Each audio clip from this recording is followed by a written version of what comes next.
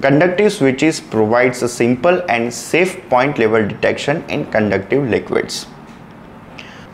Main working principle is conductivity level sensors operate based on the electrical conductivity of the liquid being measured. The sensor typically consists of two or more electrodes made up of conductive materials.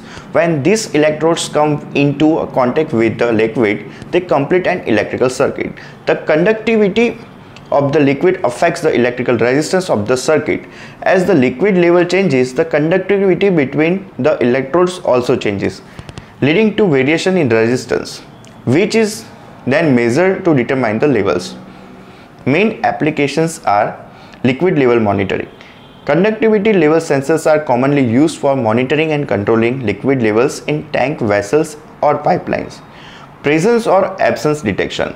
They can be employed to detect the presence or absence of the liquid at a specific level. Main advantages are works with a variety of liquids suitable for both conductive and non-conductive liquids offering versatility in applications. Simple design.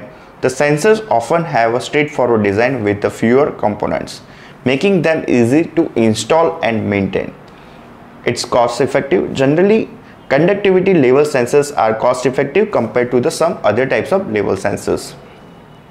Main disadvantages are affected by coating or buildup the sensor's performance can be affected if there is a coating or buildup on the electrodes.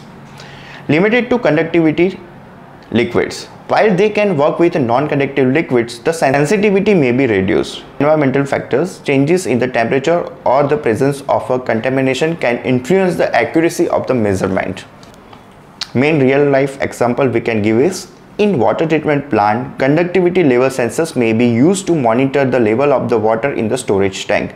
By measuring the conductivity of the water, the sensor can provide information about the water quality and help in controlling the water treatment processes.